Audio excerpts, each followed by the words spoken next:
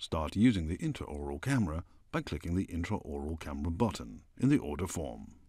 The intraoral camera is now added to the workflow bar. Now you can finish creating a case or just use the intraoral camera right away.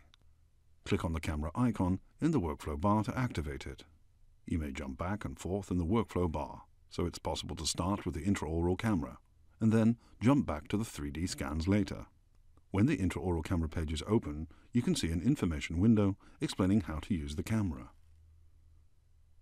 You can now choose between taking a HD photo, which is the default choice, or to make video.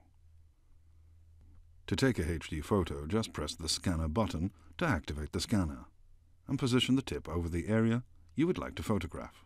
Once you have the desired area in sight, click the scanner button again to capture the photo. You can also access the HD photo function directly in the scan page. To make a short video, click the Video button. Insert the scanner into the patient's mouth and press the scanner button. Use the live 2D image to find the desired starting position of the video. Then, press the scanner button to start the video capture. You can also start recording by clicking the Record button. Stop the recording by pressing the scanner button again, or press the Record button on the screen. The maximal length of the video is 10 seconds by default. You may change this on the settings page. You can view the video immediately after recording by clicking the play button. Also remember that you may add multiple videos to the order. Just close the preview window and press the scanner button to start recording again.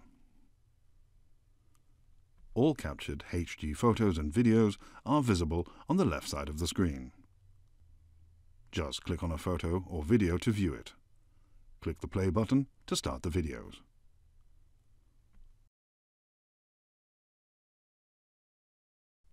All photos and videos can also be accessed later on.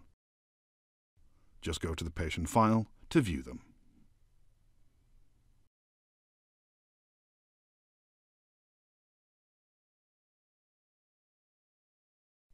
The HD camera can also be used as a live video streaming device to improve communication with the patient during intraoral examination.